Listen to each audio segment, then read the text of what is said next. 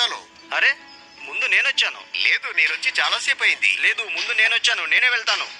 అరే. నేను వెళ్తాను. నేను వచ్చాను. ముందు నేను వెళ్తాను. లేదు నేనే వెళ్తాను.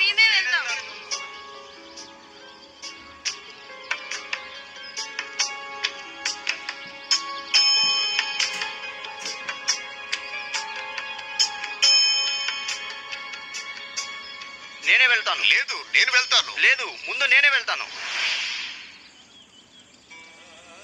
సాయి ఏదో ఆలోచనలో ఏదో దిగులుగా ఉన్నారు. ఇబ్బంది పెట్టద్దు.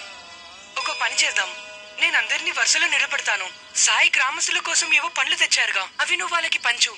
ఆ, సరే. లేదు చెప్పానుగా. ముందు నేనే వెళ్తాను. అరే. నేను వచ్చాను ముందుగా. ముందు నేను వచ్చాను అందరూ నేనే శాంతంగా వెళ్తాను. ఉండండి. గొడవ పడద్దు. అందరికి సాయిని కలిసే అవకాశం వస్తుంది. వరుసలో ఉండండి. నువ్వు చూసావుగా నేను ఇక్కడ చాలాసేపటి నుంచి నిలబడి ఉన్నాను. సరే అయితే మీరు ముందు నించోండి అంటే ఇతను నీకు తెలిసిన వాడు. అందుకనే ముందు ఇతన్ని పంపిస్తున్నావా?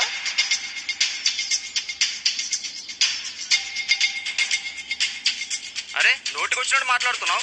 బాబాయ్ అన్నయ్య మీరిద్దరు శాంతంగా ఉండండి గొడవ పడద్దు మీరందరూ వరుసలో నిలబడి ఉండి మీ వంతు వచ్చే వరకు వేచి ఉండండి.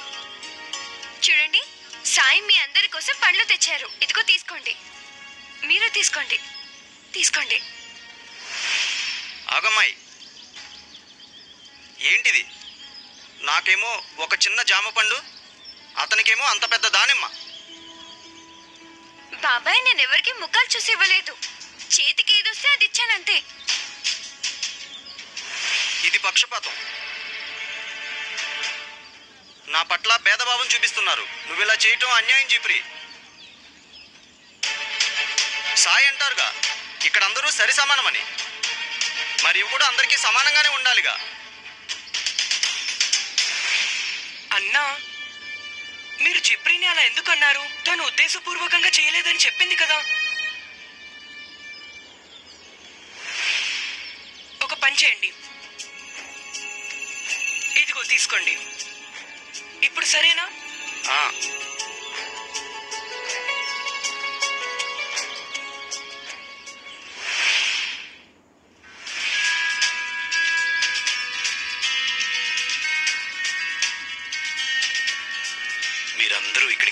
వస్తారు మిమ్మల్ని కలవడానికి సాయి కానీ ఎందుకు?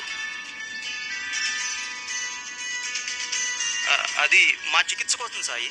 ఎవరి దగ్గర చికిత్స కోసం? ఏం చికిత్స కోసం? సాయి శాంతించండి మీరు. జనాలు మీ దగ్గరికి వాళ్ళ జబ్బులకి వైద్యం చేయించుకోవడానికి వస్తారు. వాళ్ళ జీవితాల్లో సమస్యలకు పరిష్కారం కనుక్కోవడానికి వాటిల్లోంచి బయటపడడానికి వస్తారు. అది మాత్రమే కాదు సాయి మాలో చాలా మంది మీ కేవలం మిమ్మల్ని కలవడానికే వస్తాం. మిమ్మల్ని కలవడం మాకు సంతోషంగా ఉంటుంది. ద్వారకామయ్య రావడం వల్ల ఆనందం కలుగుతుంది. మనసుకి శాంతి కలుగుతుంది. మీరు సాక్షాత్తు ముక్తి ప్రదాత అలాంటిది మీరే ఇలా అడుగుతున్నారా?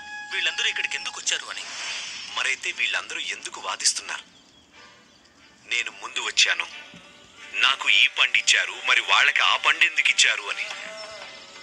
అరే మీ తోటి వాళ్ళకి ఎవరికో ఏదో పెద్ద పండు వచ్చిందనుకోండి మీకెందుకు బాధ? అలాగే మీ తోటి మనిషి మీకన్నా నాలుగు అడుగులు ముందుకు వెళ్తే దానివల్ల ఏం తేడా ఉంటుంది? మమ్మల్ని క్షమించండి సాయి. ఆ సాయి దయతో మమ్మల్ని క్షమించండి. చిప్రి నా ప్రవర్తన గురించి నీకు క్షమాపణ చెప్తున్నాను. ఏం పర్వాలేదు బాబాయ్.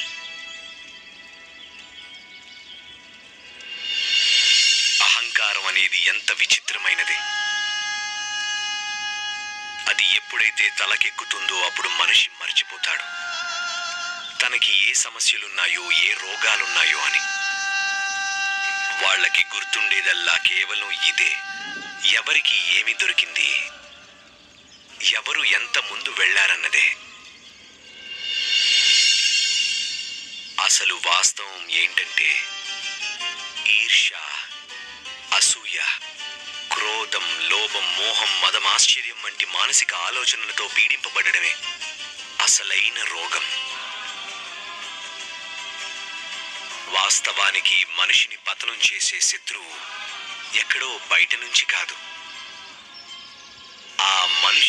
తన అహంకారం నుంచి పుడతాడు. మీ మానసిక వికారాలని వాటి రూపాలని గుర్తించండి. వాటితో అప్రమత్తంగా ఉండండి. వాటిని వదిలించుకోవడానికి ప్రయత్నం చేయండి.